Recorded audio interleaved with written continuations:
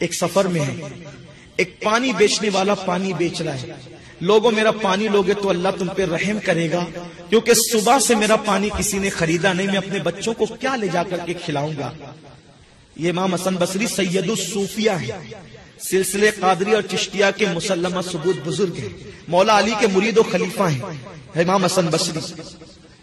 جب آپ نے سنا نا کہ میں اپنے بچوں کو کیا کھلاؤں گا، پیسے نکالے، دیا، پانی لیا، بیٹھ کے پینے لگے۔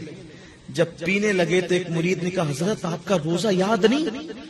حضرت حسن بصری نے کہا، روزہ یاد ہے نفل تھا، توڑ دیا، کل اس کی قضا کر لوں گا۔ اگر اس بندے کا دل ٹوٹ جاتا تو اس کی قضا کب کرتا؟ یہ ہمارا دین ہے۔ اللہ کے رسول نے فرمایا کہ کچی پیاز کھا کر مسجد میں مت آیا کرو۔ کچا لہسن کھا کے مسجد میں آیا کرو۔ کچے پاس کچا لہسن کھا کے گھر میں رہ سکتے مسجد میں کیوں نہیں آ سکتے؟ اس لیے کہ جب تم مسجد میں آؤ گے تو تمہارے بازو میں کھڑا ہوا جو نمازی ہے، وہ پیاز کی بدبو اس کو تکلیف پہنچائے گی۔ قربان جائیں۔ جائز پیاز کی بدبو اگر اپنے مسلمان بھائی کو تکلیف پہنچائے، تو حضور اس کو کھا کر مسجد میں آنے سے منع کرتے ہیں۔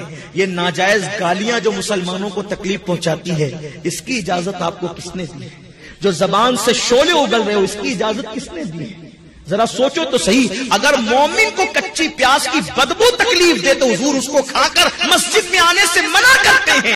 اور ہمارے الفاظ اگر کسی کو تکلیف پہنچائے تو سوچو تو صحیح، سوچ کر کے بولا کرو، کسی کا دل مت توڑا کرو، ورنہ ایسا نہ ہو، عبادتیں منہ پہ پھینک کر مار دی جائے اور دل توڑنے کی وجہ سے جہنم کا ایندھن بن جائے۔ اب مجھے بتاؤ، جب آپ تو جو اپنے گناہوں سے نبی کے دل کو اذیت پہنچائے، ان کا انجام کیا ہوگا؟